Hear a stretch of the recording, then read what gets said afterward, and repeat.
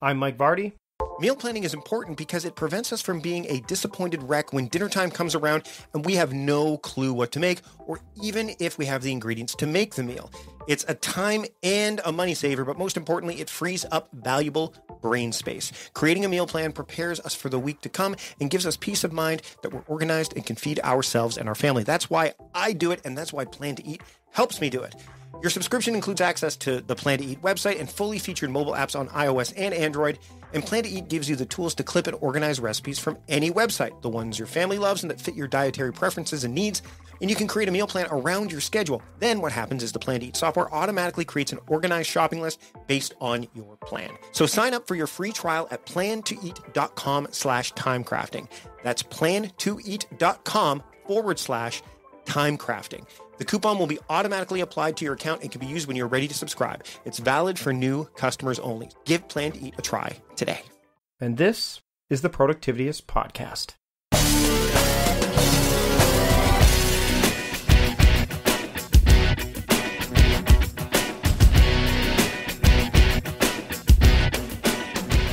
Welcome to the show, everybody. It's Mike Vardy here, your host and your party host, your podcast party host for the Productivityist podcast. And this week I have Jared Brown on the show. He's of Hubstaff. And one of the things that, that I wanted to talk to him about on the show is how to manage remote teams. How to do that because I'm doing that. And I want to more lead remote teams and manage them because all the people I work with across the miles are phenomenal.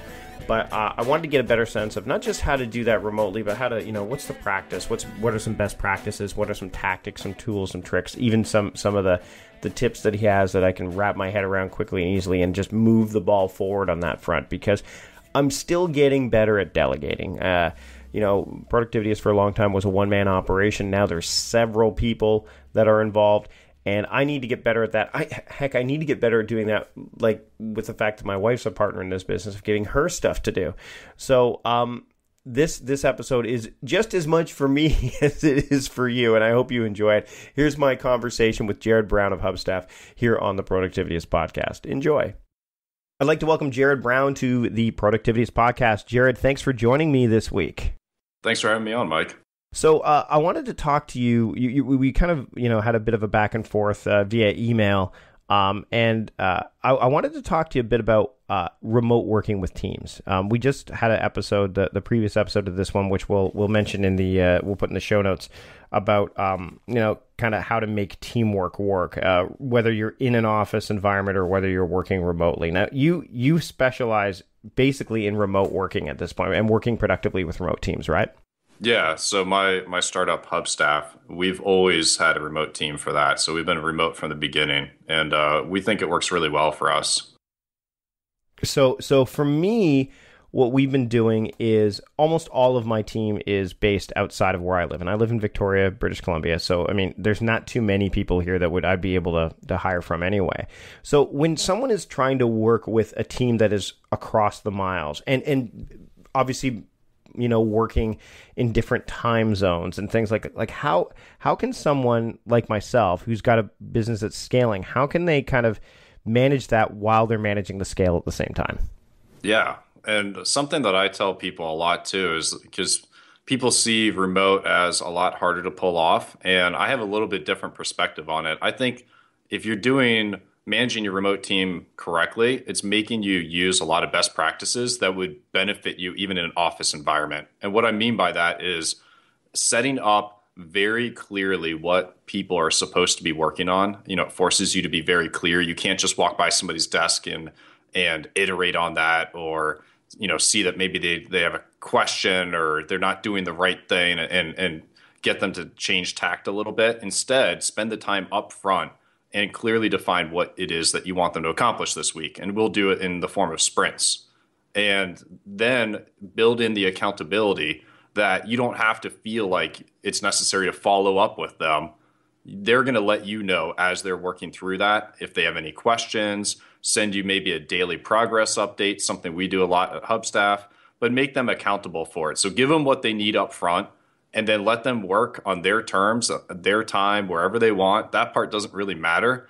And then they're accountable for finishing it. And that pro- that process never really ends, does it? I mean, I'm working with a VA right now, uh, and she's based in the in the U.S. She's phenomenal. Um, but you know, I'm at the point now where where I need to go in a bit of a different direction. Uh, and and the the cool thing is is and I think a lot of people neglect this is that they train the one person and then they don't have a system in place to make sure for for uh, you know for succession.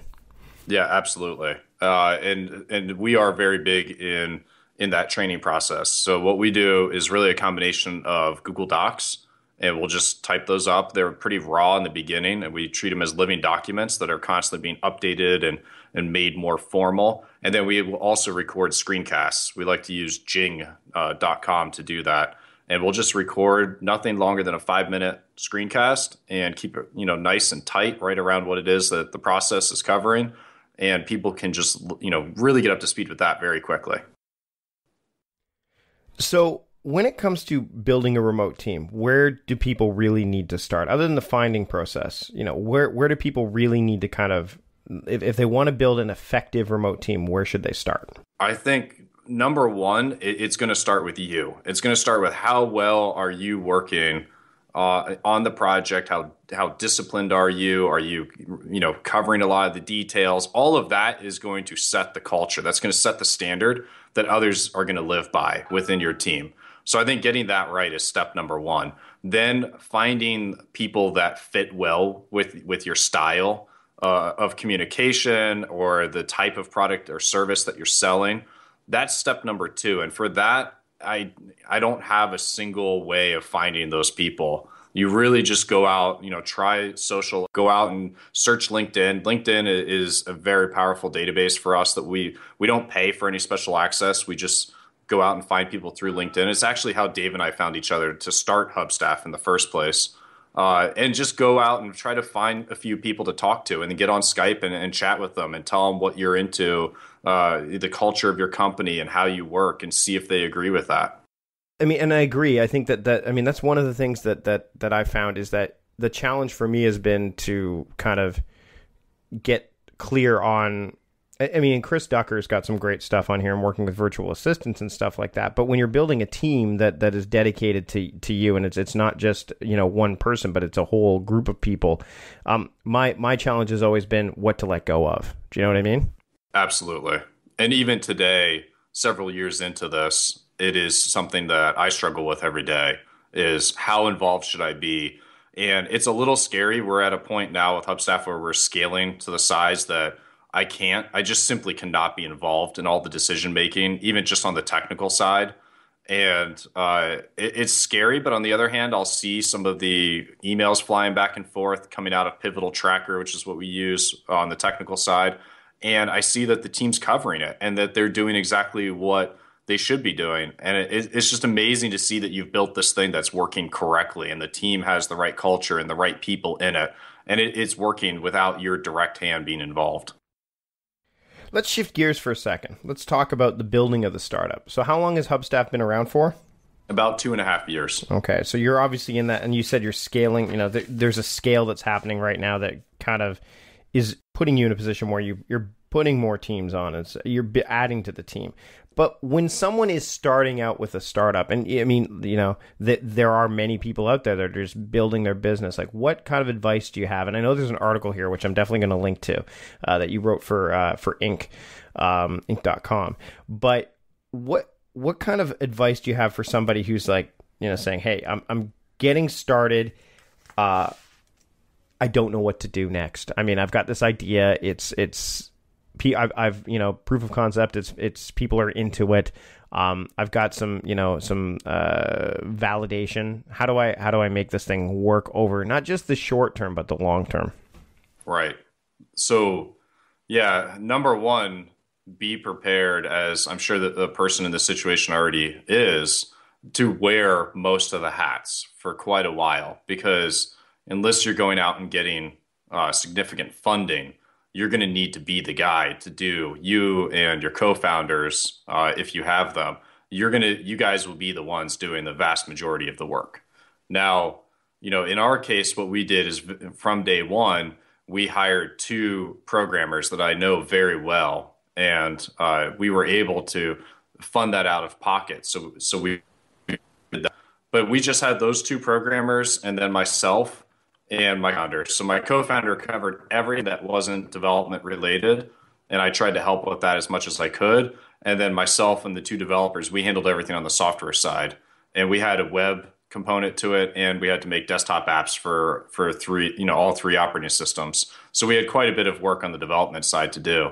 But you just really have to, uh, you've got to bootstrap it, I think, until you can get to the point you can hire somebody. And for us, that was about a year, uh, a full year before we got into, into a position where we could actually hire somebody else. You know, all of us felt like we were kind of the founding members, and then a year later, we've hired in the first person into into this cool party we had going on. It's like, you know, welcome to the party. What about when? And this is it's interesting because you mentioned that you, people that you knew, and I've been working with with uh, this hiring process right now, and living in a small city, especially. And again, this is more not remote, but they will be working remotely. I mean, the nice thing is I offer flexible hours, and they can work from home and stuff. But um, what about letting someone go? Like, how do you handle that? I mean, I, I don't know if you've come across that yet. Oh uh, yeah. Oh, you have. Okay. yeah. Unfortunately. So how have you handled that? Because when you're dealing with a remote person, like I mean, we we've seen you know the movies Up in the Air where you know the guy is hired to go in and basically you know cull for lack of a better term. Like, how do you do this from a remote sense? Because I mean, we've seen it done remotely in films like that, where it's just they go into a room and there's a guy on video that says, "Well, um, you know, we're moving in a different direction." Da, da, da. Like, so how do you how do you how have you handled that? And how do you yes. re- how do you recommend people handle it? Yeah, it, it's it's I, I, hate having to do it. Um, I guarantee you will have to do it at some point if you're in business for multiple years uh, even with a great hiring process in place, it just happens. Um, uh, so what? Uh, for me, the first time that I had to do it, I actually Googled uh, for some articles on on good tips for that, and one that I found said this is what really stuck with me: just really keep it super short, keep the discussion very short. I like to do it over Skype. You know, I don't like doing it over email. I think that's a little too impersonal, and just without getting too accusatory, because it's not really the point to lay it all out there, but just say, in a way, look, this is not a good fit. This is, uh, you know, maybe give a few reasons, very light, and ones that can't really be argued.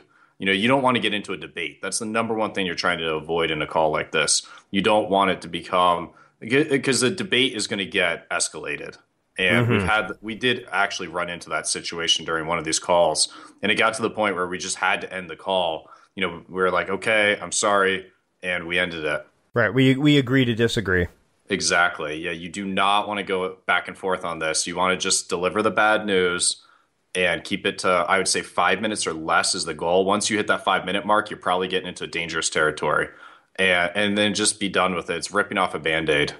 Now what about when you're bringing somebody on to kind of test the waters? Do you have a, like a, a way that you do that? And I've, I've talked to my friend, uh, you know, Jaime Jaime Tardy. Uh, over at uh, Eventual Millionaire, and she she kind of gave me an instance of, and I think we talked about that in a recent episode about um, you know how how we uh, how she you know kind of tests the waters with with certain remote teammates. How do you how do you approach that? Yeah, great question. I, I forgot to mention this in my last answer, but I wanted to because I think this is the linchpin right here. So, perfect question. Uh, we have found that 99% of the people we let go, it may be 100, I think, but I'm, I'm leaving a little bit open there, uh, have been fired in the first four weeks, four to six weeks of us working with them. And so that told us we can determine this very early on. If they make it past that period, they're with us for years, uh, or unless they take another job. But it, you know, it, it's ending for different reasons, not because they're not good at doing this job.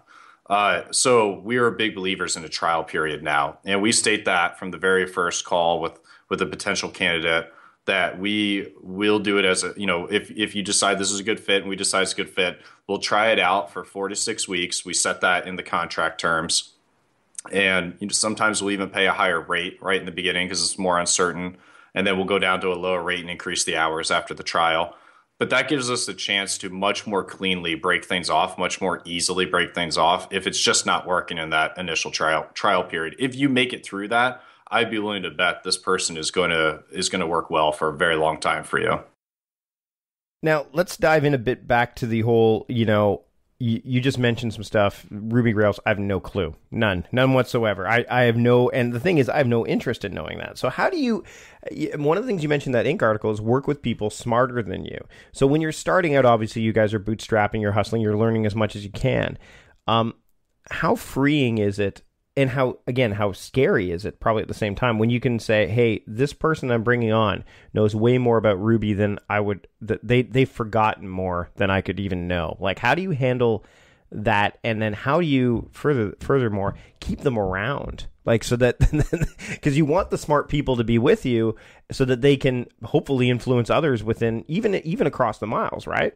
Yep yeah, and for that, I would say it's the old adage of of A players attract A players, and the second you let a B player in, then you've got C players, and it kind of goes downward.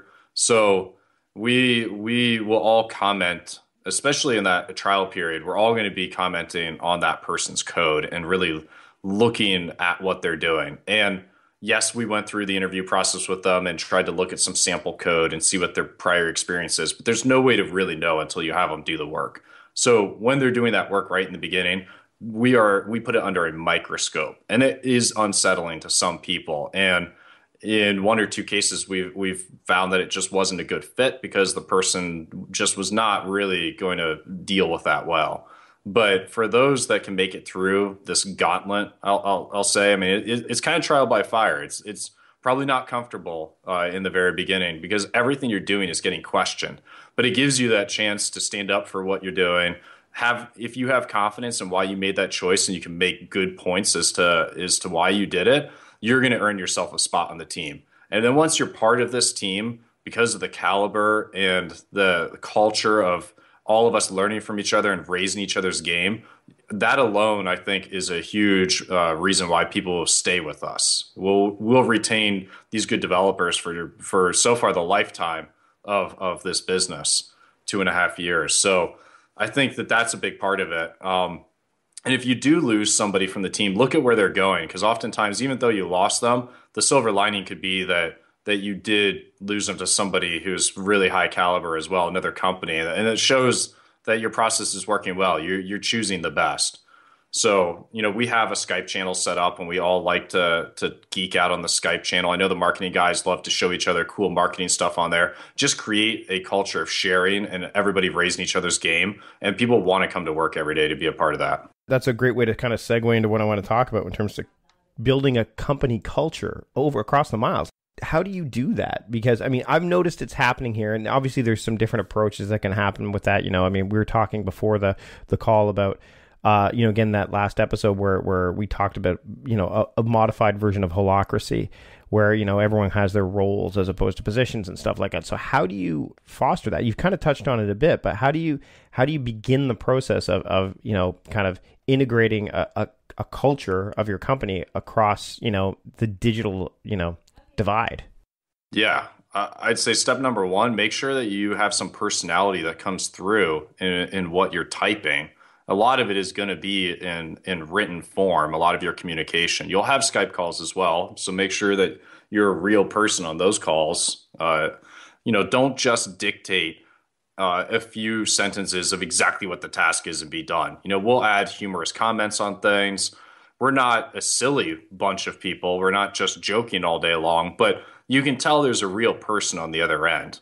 And if we run into a bug that's just a real hairball, you know, we'll we'll talk about that for a minute and say this thing, you know, this thing is a hairball and you know, we're now we got to try to pick this thing apart and figure out what's going on and you know, so we we know that there's that person on the other end. And I think that can get lost if you're just very clinical or all of your t- all of your communication is very sanitized and just work related. You've got to let some of you seep into that.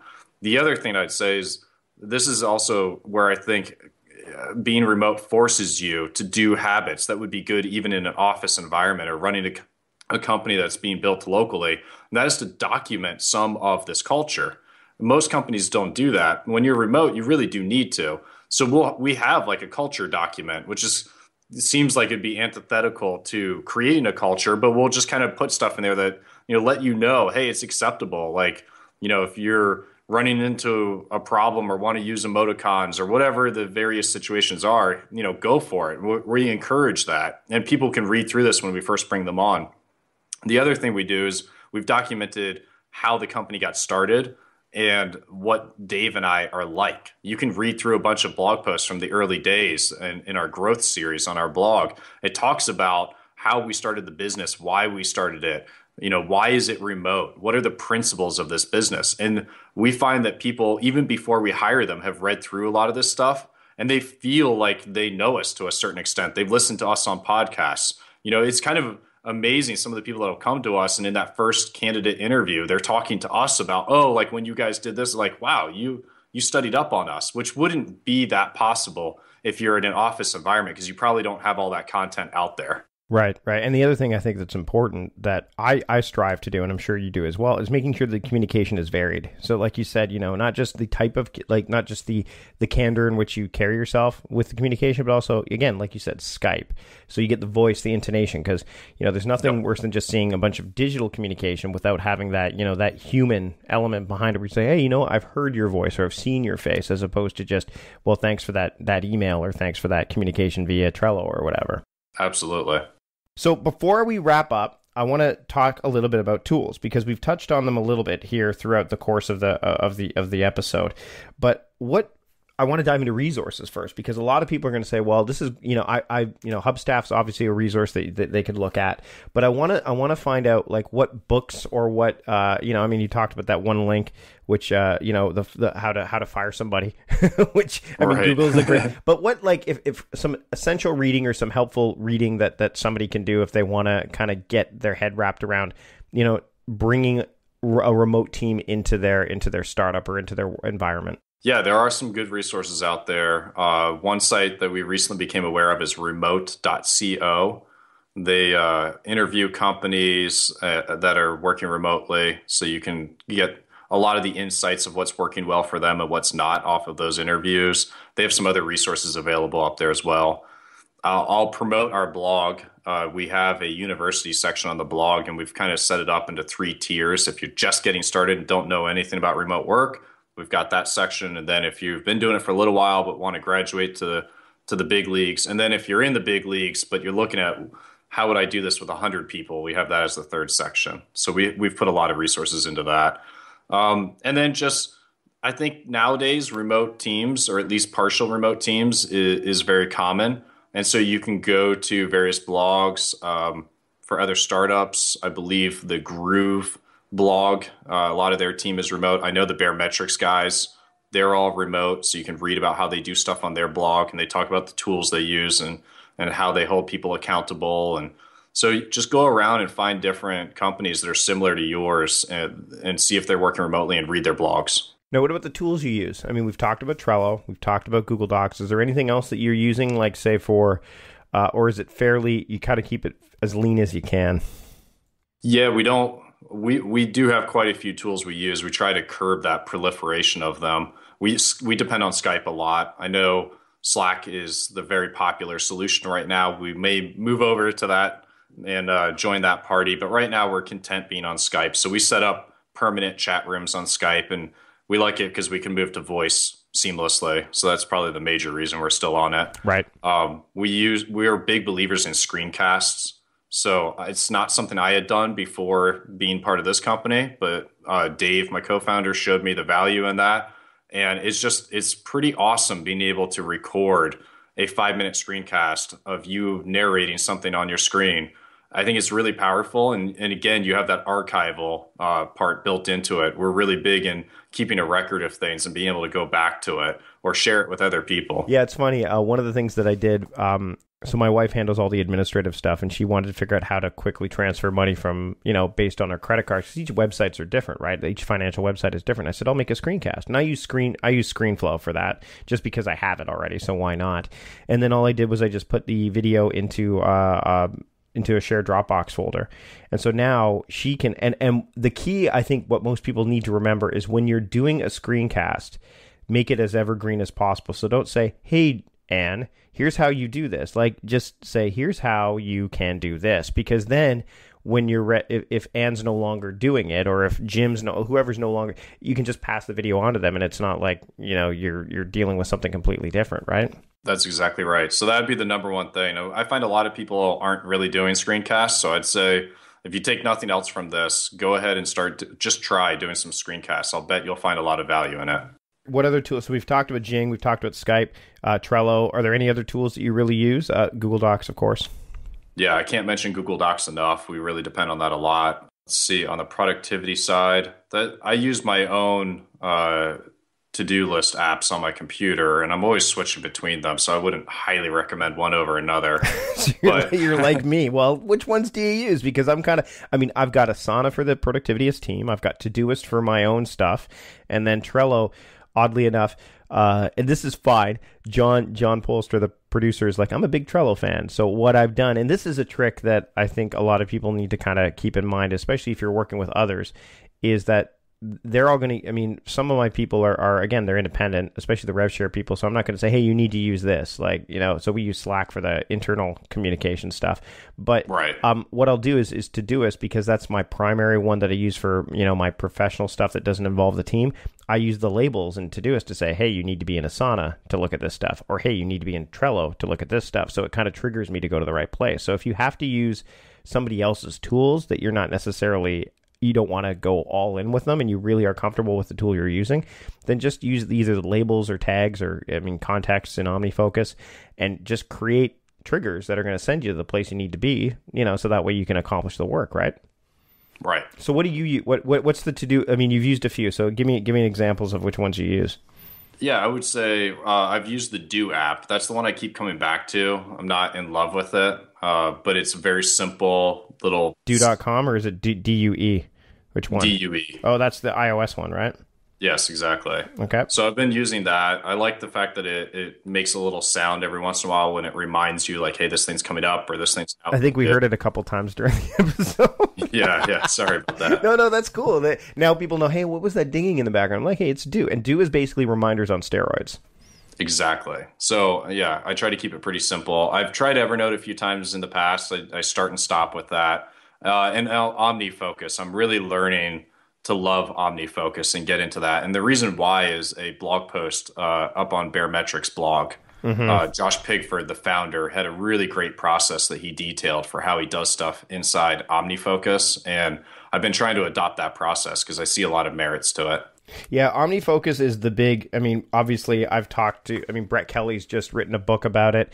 Um, you know, the the guys at Asian Efficiency have a whole course uh, surrounding it that I've I've promoted and looked at. I mean, OmniFocus is one of those ones where if you're working individually, and I've done a talk for the Omni Group back in back at uh, was three years ago. I was an OmniFocus user, still have it. Occasionally get tempted to go back to it because I love the way it does. You know, a lot of things.